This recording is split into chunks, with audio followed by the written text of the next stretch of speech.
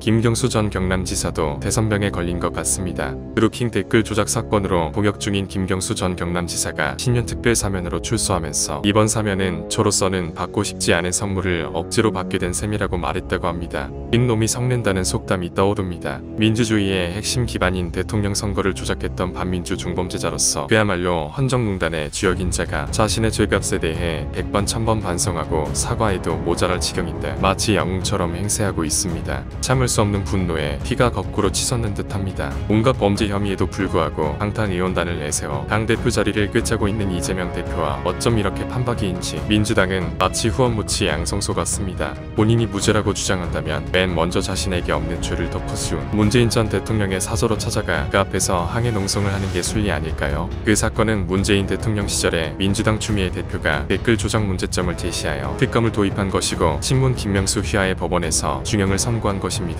그러니 만약 자신에게 없는 죄를 뒤집어 씌웠다면 그 주역은 문재인 당시 대통령이겠지요. 그런데도 엉뚱한 곳에 와서 성질을 부리는 김 전 지사의 모습은 다다가 봉창 두드리는 꼴입니다. 아마도 김경수 전 지사는 속으로는 향후 대선 도전을 위한 정치적 발판을 마련했다며 회제를 부리고 있을 것 같습니다. 운동권 꼰수기들 세상에서는 감옥에 갔다 와야 별을 달고 선골이 된다는 해괴한 관행이 있어 왔다고 하는데 김경수는 선골에 진입하고 동시에 조기 삭방도 됐으니 일거양득인 셈이네요.